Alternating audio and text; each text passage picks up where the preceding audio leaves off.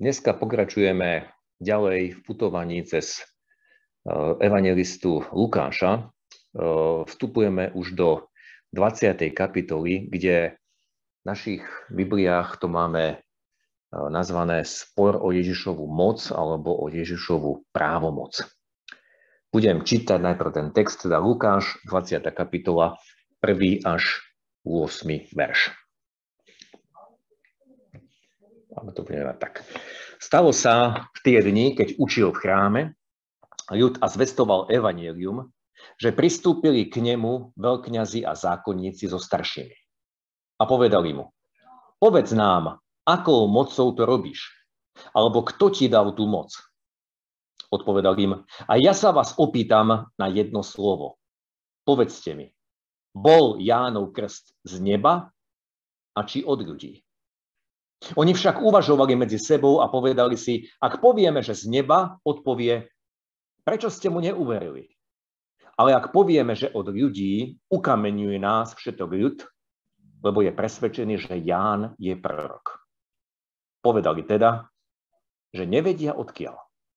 A Ježiš im odpovedal, tak ani ja vám nepoviem, akou mocou to robím. Takže dovolte, aby som eh, dal umiestnenie textu. Je to už v závere Evangeliu Lukáša a dokonca aj v závere služby pána Ježiša, pretože predchádzajúca 19. kapitola je správa, ako posledný krát prišiel Ježiš do Jeruzalema. Vieme, že to bolo na osliadku, vieme, že pritom zaplakal nad Jeruzalemom, ktorý nepoznal času svojho navštívenia a vieme, že to bolo už krátko pred jeho eh, smrťou, pretože tam nasleduje krátky pobyt v Jeruzaleme, e, odsúdenie, zajatie, odsúdenie a vlastne Golgota. Potom, ako Ježiš vošiel do Jeruzalema, tak je správa, ako vyčistil chrám od kupcov, teda od toho trhoviska, ktoré tam bolo. A potom v chráme e, prichádzal ľud, ktorý učil každý deň. Ak by sme čítali záver 19. E, kapitoly, tak tá 19. kapitola sa končí týmito slovami. A učil každý deň v chráme, Veľkňazi a zákonníci i poprední z ľudu hľadeli ho zahubiť, ale nevedeli, čo si počať, lebo všetok ľud vynul sa k nemu a poslúhal ho. Z textu, ktorý sme dnes, e, ktorý dnes skúmame, chcem zdôrazniť niekoľko bodov. Poprvé, pán Ježiš neprestajne zvestoval evanielium. V podstate je to v tom prvom verši. Stalo sa v tie dni, keď učil v chráme ľud a zvestoval evanílium. V tej chvíli pristúpili k nemu tí veľkňazi a zákonníci so staršími. Myslím, že si to uvedomujeme, že toto, že Ježiš zvestoval evanílium, to robil od počiatku svojho vystúpenia až po koniec, lebo tento text je niekoľko dní pred jeho smrťou. A vieme, že Ježišova verejná služba začala v Galilei. Prvýkrát v Evangeliu Lukáša čítame, že Ježiš začínal podľa proroctva, ktoré citoval e, z Izaiáša kapitola 61. Duch hospodina pána spočíva na mne, pretože hospodin ma pomazal, poslal ma biedným hlásať radosnú zväzť. Slovo radosná zväzť je vlastne evanelium.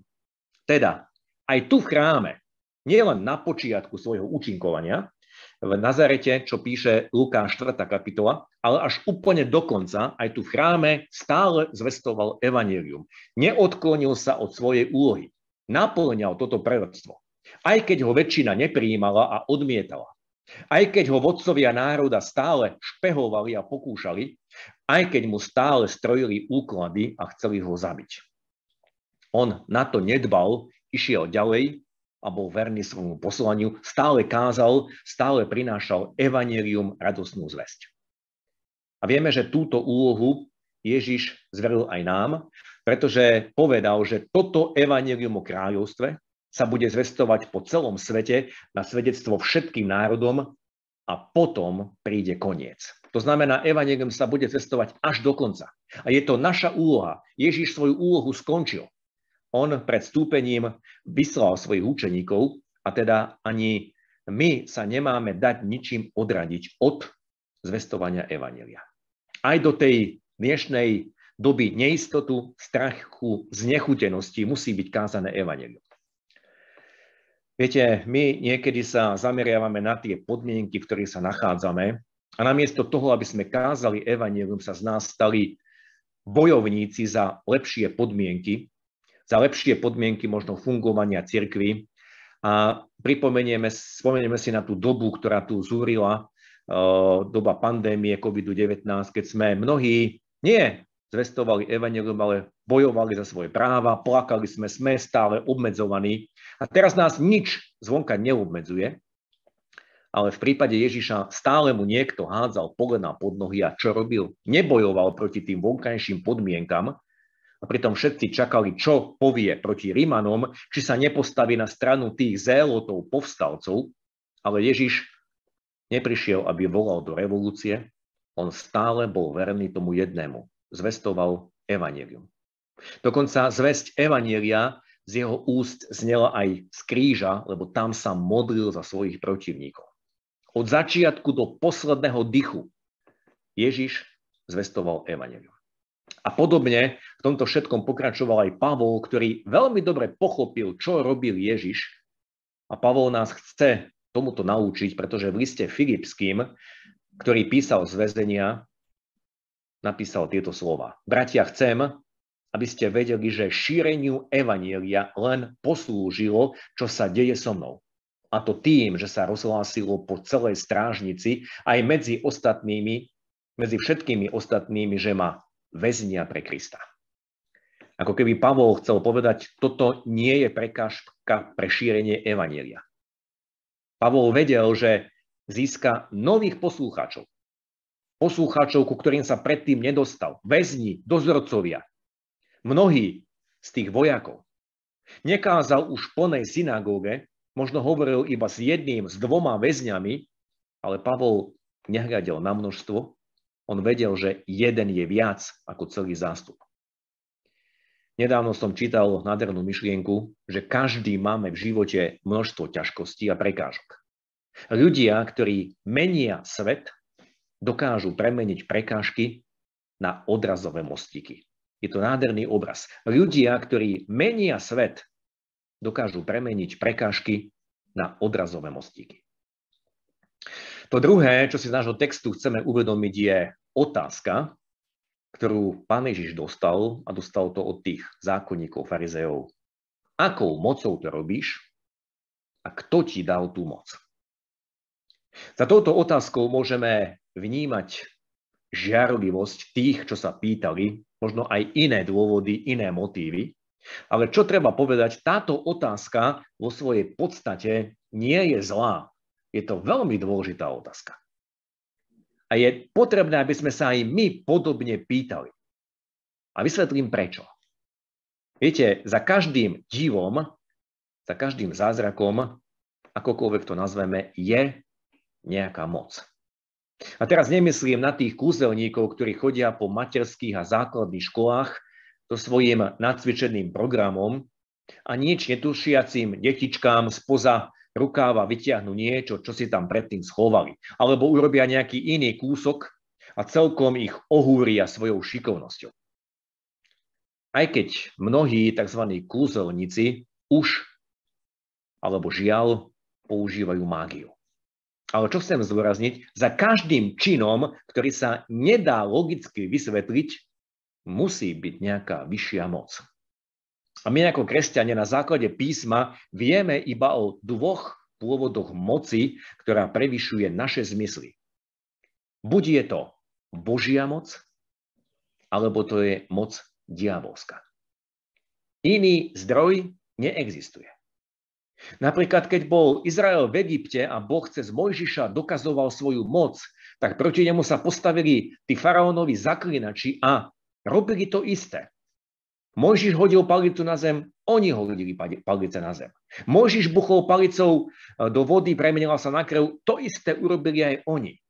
Dokazovali akoby to isté. Satan sa pretvaruje v aniela svetla. Alebo národy, ktoré obývali kanánsku krajinu, a vzývali mnohé božstvá, tie národy, ktoré potom Izrael musel vyhnať, tiež používali moc, ale nebola to moc Božia, bola to moc démonská, diabolská. Alebo misionári, ktorí pôsobili v afrických kmeňoch, sa tam stretli so šamanmi, ktorí mali nepochopiteľné e, schopnosti, či už na liečenie, alebo na škodenie nepriateľom. A oni to nazývajú, že jedno je biela mágia, druhé je čierna mágia, ale robí to ten istý človek. Či je to čierna, či je to biela, je to predsa mágia. A Ježiš, keď hovoril o svojom príchode, povedal, že povstane mnoho falošných prorokov a mnoho mesiášov, budú robiť divy a svojimi zázrakmi budú zvádzať mnohých. A my sa stále a vždy musíme pýtať, aká moc stojí za tým, čo vidia moje oči. Aká moc je za človekom, ktorého iní nazývajú liečiteľom alebo ľudovým liečiteľom. Aká moc je za človekom, ktorý nepracuje podľa klasickej medicíny, ale hovorí o nejakej energii, ktorú má v dlaniach. Aká moc stojí za človekom, ktorý vám predpovedá, čo vás čaká. A opakujem, existujú len dva pôvody moci, ktorá je za každým nadprirodzenom. Buď je to Božia moc, alebo je to diabolská moc. A žiaľ, mnohí, ktorí sa vyhlasujú za ateistov, teda popierajú akéhokoľvek Boha nadprirodzeno, nemajú problém pritom navštíviť jasnovidcov, ľudových liečiteľov a podobne. A žiaľ, mnohí politici, ktorí sa javia ako neveriaci, tiež navštevujú astrologov, jasnovicov, aby im poradili, čo majú robiť. Ani nevidia a nevedia, že podávajú ruku tomu, ktorý sa pretvaruje a maskuje, lebo písmo jasne hovorí, že nie, nie div, že aj sám Satan sa premieňa aniela svetla. Nie je teda veľkou vecou, keď sa aj jeho služobníci predstavujú ako služobníci spravodlivosti. A preto sa stále musíme pýtať, aká moc stojí za tým, čo vidia moje oči. A čím viac sa približuje druhý príchod Ježiša, tým viac si musíme klásť túto otázku. Nech nás neoklame to, že tzv. ľudoví liečiteľia majú vo svojej pracovni krížik na stene. Viete, to je také úžasné maskovanie. Ale majú tam nejaký iný zbožný predmet. A človek sa upokojí, veď aj tento človek je veriaci.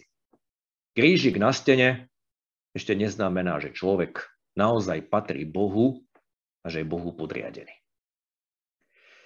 To tretie, čo čítame v tomto texte, je Ježišova odpoveď, ktorú by sme mohli parafrázovať na otázku, akou mocou činíš tieto veci. Veľmi dobre viete, čo je pravda.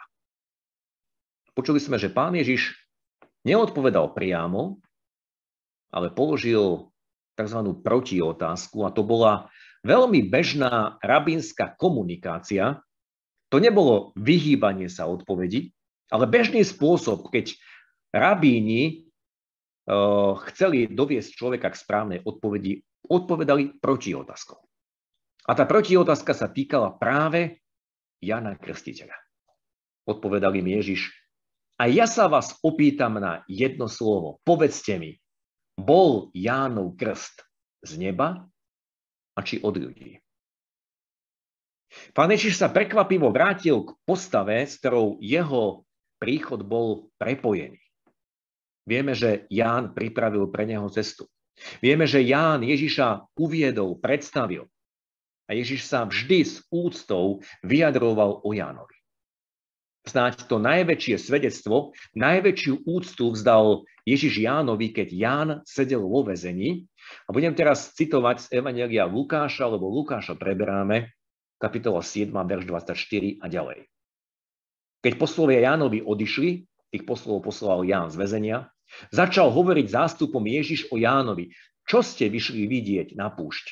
Či trstinu, ktorou vietor sem tam kolíše? Alebo čo ste vyšli vidieť? Človeka oblčeného do mekého rúcha? Aj hľa tí, čo nosia nádherné rúcho a žijú rozkošne, bývajú v kráľovských domoch. Alebo čo ste vyšli vidieť?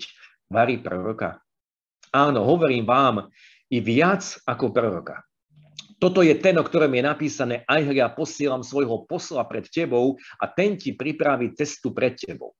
Hovorím vám, medzi narodenými zo žien nie je to väčšieho nad Jána, ale kto je najmenší v kráľovstve Božom, je väčší než on. Evangelia nám svedčia, že mnohí Jána poslúchli a prešli krstom pokánia a potom boli pripravení prijať Ježiša, jeho vystúpenie, jeho službu, jeho posolstvo. Ale veľkňazi a zákonníci a tí, čo najlepšie ovládali Tóru, zákon, hoci mali toľko svedectiev, aby mohli, mohli poznať, že Ján je Bohom poslaný, to odmietli. Ako som v úvode povedal, tento rozhovor medzi zákonníkmi a Ježišom sa odohral už nejaký čas po Jánovej smrti. Môžeme hovoriť nielen o mesiacoch, ale aj o rokoch. A teda generácia, ktorá Jána sledovala, videla aj Jánov koniec a po odstupe času mala dostatok dôvodov a dôkazov, aby k tejto postave mohla zaujať jasné stanovisko. Napríklad proroctvo Izaiáša, kapitola 40. Naplnila sa? Naplnilo sa to proroctvo. Ján pripravil cestu pre Mesiáša, ako hovorí Izaiáš 40. Alebo prorok Malachiáš, posledný prorok v starej zmluve, zmluve hovoril tiež o poslovi, aj ja posielam svojho posla, aby pripravil cestu predo mnou. Toto všetko sa naplnilo na Jánovi. A musíme k tomu pridať ešte aj udalosti, pri narodení Jána, čo sa stalo jeho otcovi Zachariášovi, pretože v Lukášovi v prvej kapitole čítame, že predtým bol Zachariáš nemý, otvorili sa mu ústa, rozviazal sa mu jazyk, prehovoril a velebil Boha. A potom úžasná poznámka. Vtedy prišiel strach na všetkých susedov a po celom hornatom kraji judskom sa rozprávalo o všetkom tomto. To znamená, už narodenie Jana Krstiteľa nezostalo bez povšimnutia. Mnohí to veľmi pozorne sledovali. Veď to bola doba napätého očakávania Mesiáša. A preto aj Jánovi, vodcovia národa, kládli otázku, nie je toto Kristus? Čo hovorí Ján o sebe? A oni veľmi dlho a veľmi pozorne sledovali Jána. Veď to bola jedna z úloh farizejov odhaliť Mesiáša, respektíve dokázať, či ten, kto sa vyhlasuje za Mesiáša, je skutočný alebo falošný. Teda tí zákonníci farizeji veľmi dobre a pozorne si všímali každé Jánovo slovo. A prišli sa pozrieť na miesto, kde krstil. Videli zástupy, ktoré prichádzali k Jánovi pozorne skúmali Jánovú zväzť. Áno, nepríjemne sa im počúvali slova, ktoré Ján adresoval práve im. Opäť citujem z Lukáša z 3. kapitoly, keď hovoril zástupom, ktoré vychádzali k nemu, aby sa mu dali pokrstiť, vrete ničie plemeno, kto vám ukázal, ako uniknúť budúcemu hnevu? Vydávajte preto ovocie hodné pokánia a ani sa len nepokúste hovoriť si, máme otca Abraháma. Lebo vravím vám, že Boh aj z týchto kameňov môže vzbudiť Abrahámovi deti. A už aj sekera je priložená na korene stromov a každý strom, ktorý nerodí dobré ovocie, vytnú a hodia do ohňa. Na základe všetkého toho, čo zákonníci farizeji počuli od Jána, čo na ňom videli, nemali žiaden dôvod vyhlásiť, že Ján je falošný prorok. Lebo Ján bol naplnením proroctiev. Ján volal národ k pokániu. Ján zvestoval príchod Mesiáša. A z vodcov nikto si ne, neodvážil proti Jánovi niečo poved, povedať. S napätím očakávali, aký to bude mať s Jánom koniec. A v podstate vodcom národa to vyhovovalo, že král Herodes dal Jána uväzniť, Nečítame, že by proti tomu protestovali. Lebo Ján prekážal aj Herodesovi, poznáme ten príbeh, prekážal aj im. Veď tie slova o sekere boli tak prísne. Ale hlboko v srdci všetci tí kritici Jána vedeli, každý z nich vedel, Ján má pravdu. A preto sme čítali ten verš 5. Preto uvažovali medzi sebou, ak povieme, že z neba, odpovie nám, prečo ste mu neuverili? Inými slovami, prečo ste sa aj vy nekajali? Prečo ste aj vy neprijali krst pokánia? Prečo ste vzdorovali? Tá druhá možnosť bola tiež neschodná, a boli by minimálne na posmech, a to je v tom verši 6. Ak povieme, že od ľudí pochádza krst Jánov, ukameňuje nás všetok ľud, lebo je presvedčený, že Ján je prorok, alebo bol prorok. A preto povedali, nevieme. A pritom dobre vedeli.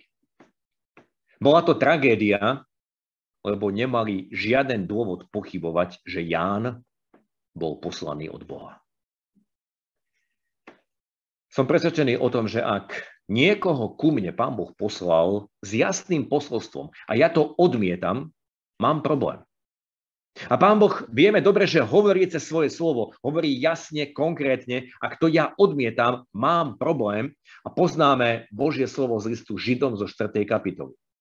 Lebo slovo Božie je živé a mocné a je ostrejšie než ktorýkoľvek dvojsečný meč. Preniká až do rozdelenia duše a ducha, klbov a špikov a je schopné posudzovať hnutie a zmýšľanie srdca. A nie je to tvora skrytého pred ním, všetko je obnažené a odkryté očiam toho, ktorému sa budeme zodpovedať. Boh hovoril skrze Jána v jeho dobe, klopal na srdcia tých ľudí. Aj pri nich to platilo, že boli odkrytí a obnažení, keď znelo a prichádzalo Božie slovo. Všetci vedeli, že to bol Boží hlas, že Ján bol Boží posol. A podobne každý z nás tiež presne vie, čo je Božie volanie.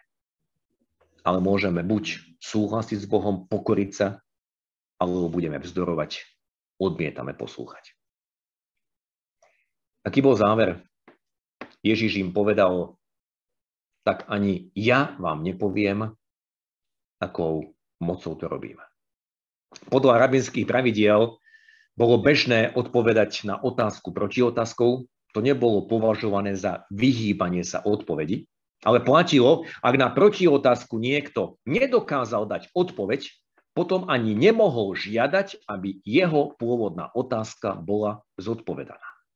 Teda pán Ježiš sa riadil ich rabínskou praxou.